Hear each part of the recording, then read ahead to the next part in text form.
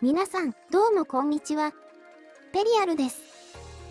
さて、本日は、以前、こちらの動画で紹介した僧侶枠アニメ、指先から本気の情熱の続編を鑑賞したので、レビューしていきたいと思います。まず、最初は、めでたくカップルとなった2人のラブラブデートのシーンからです。超絶マッチョの相馬くんがサーフィンしてる姿を見て、惚れ直すりょうちゃん。やはりサーフィンはモテるのでしょうか？ちなみに、私も学生時代、ワンちゃんモテるかと思ってサーフィンをかじりましたが、チー牛がサーフィンできても、所詮ただの波乗りチー牛なので、私と同じ考えの学生諸君はご注意ください。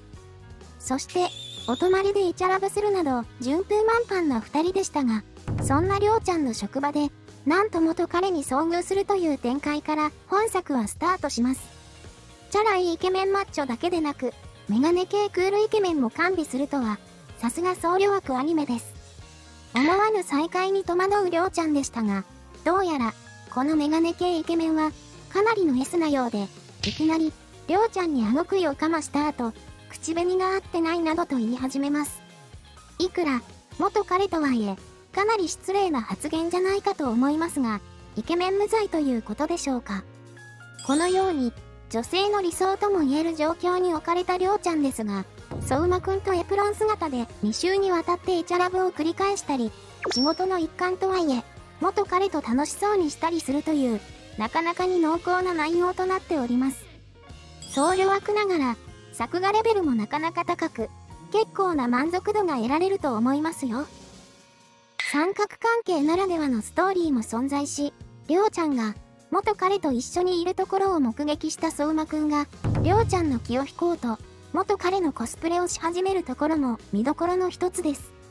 また、りょうちゃんのはっきりしない態度に、業を煮やした相馬くんが、お前は誰の彼女なんだ？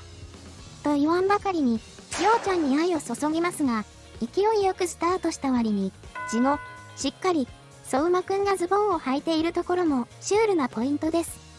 このように、色々と突っ込みどころはあるものの、ストーリー的にもそれなりにまとまっており、最終的には話もうまいこと着地するので、視聴後は結構スッキリします。個人的には、相馬くんと元彼の直接対決が見たいところではありましたが、それはありませんでした。しかし、全8話の僧侶枠アニメとしてはかなりいい感じではないかと思います。トータルのクオリティ的には僧侶枠の中でも上位だと思いますので、サクッとアニメを見たい方におすすめですよ。それではご視聴ありがとうございました。また次の動画でお会いいたしましょう。